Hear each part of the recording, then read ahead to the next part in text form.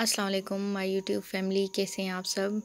मैं उम्मीद करती हूँ आप सब खैरियत से होंगे, भी खैरियत से हैं, अल्लाह का शुक्र है। तो आज इतवार है। इतवार के दिन सब अपने अपने कामों में लगे हुए हैं। ये मेरा छोटा बेटा है, खेल रहा है यहाँ पे।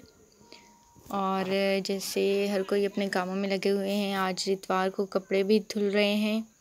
कोई कपड़े धो रहा है, कोई झाड़ू पोंछे कर रहा है, घर की सफ़ाई जैसे इतवार को स्कूल वगैरह की छुट्टी होती है तो सब अपने अपने कामों में बिज़ी होते हैं, घर के कामों में। ये यहाँ पे कपड़े धो रहे हैं। जैसे हफ़्ते में बहुत सारे कपड़े जमा हो जाते हैं तो इतवार के दिन फुर्सत होती है स्कूल वगैरह की तो सब इस तरह से फुर्सत में काम करते हैं घर की। ये यहाँ पे कपड़े धो रहे हैं, कोई कपड़े धो रहा है, कोई यहाँ पे फर्श साफ़ कर रहा है, झाड़ू पोंछे कर रहे हैं। तो हर कोई अपने काम में बिज़ी है। ये हमारे गाँव का घर है। ये सुबह के वक्त का मंज़र है, दरख्तों पे चिड़ियों की चहचहाहट चारों तरफ़ से। और यहाँ पे काफ़ी टाइम गुज़र चुका है मतलब ये सुबह के ग्यारह बजे का टाइम है। धूप काफ़ी निकल चुका है। सुबह सवेरे सब उठते हैं तो नाश्ता सबसे पहले किया जाता है। उसके बाद ये हर कोई अपने का, अपने अपने कामों में लगे हुए होते हैं। फुर्सत जैसे होती है तो हर चीज़ को हफ़्ते में एक बार हर चीज़ की देखभाल की जाती है। वैसे तो रोज़ाना की रूटीन है, मगर कुछ कुछ चीज़ें ऐसी होती हैं जो फुर्सत में की जाती हैं क्योंकि उनके लिए टाइम नहीं होता। वैसे बच्चे स्कूल होते हैं तो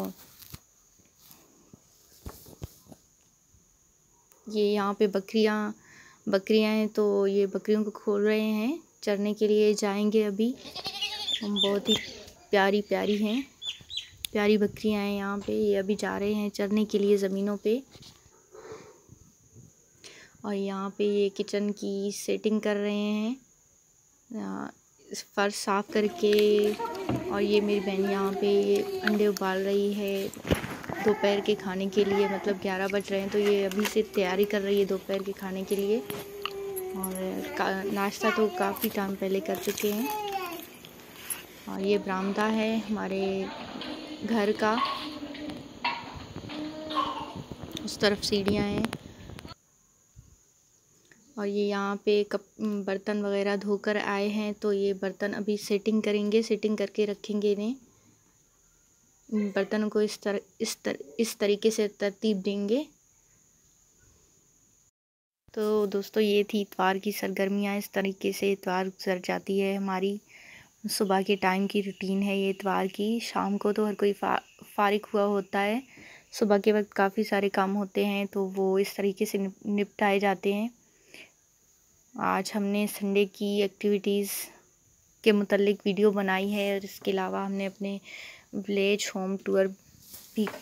ये सबसे पहले यहाँ पे बर्तन धोकर आते हैं, फिर इनको निकाल कर सेटिंग करते हैं। तरतीब देते हैं इस तरह से बर्तनों को। और इसके अलावा ये रूम है।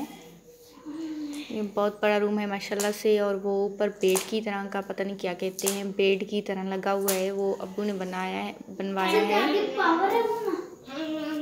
ख़ास बच्चों के लिए यहाँ पे बच्चे गर्मियों में, सर्दियों में मतलब जगह भी जो है ना वो जगह जगह की भी बचत होती है इस तरह से। और ये ये टीवी है, टीवी रूम भी है, यूँ समझे कि टीवी रूम भी है और वहाँ पे किताबें बच्चों की रखी हुई हैं, हर तरह की किताबें रखी हुई हैं। तो स्टडी रूम, टीवी रूम और खाना भी हम यहाँ पे दस्तरखान लगा के खाते हैं तो मतलब ये बेडरूम भी है TV room study room dining room जो भी है, ये सब कुछ इसी रूम ये एक ही रूम में होता है। और ये है भी बहुत बड़ा। तो आज की वीडियो में हमने पार्क की सरगर्मियों के साथ साथ अपने विलेज होम टूर भी कर करवाई है। उम्मीद है कि आपको वीडियो पसंद आई होगी। कमेंट में अपनी राय ज़रूर दीजिएगा और मेरे चैनल को सब्सक्राइब और लाइक करना ना भूलिए। मिलेंगे एक और वीडियो के साथ। तब तक के लिए अल्लाह हाफिज़।